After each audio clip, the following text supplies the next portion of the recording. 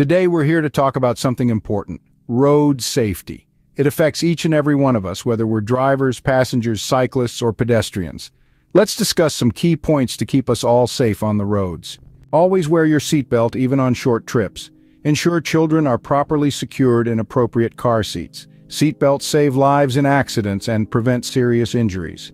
Obey speed limits and adjust speed for road conditions. Speeding reduces reaction time and increases the severity of accidents. Be especially cautious in residential areas and near schools. Keep your eyes on the road and avoid distractions like texting or adjusting music. Distracted driving is a leading cause of accidents. Use crosswalks and obey traffic signals when crossing streets.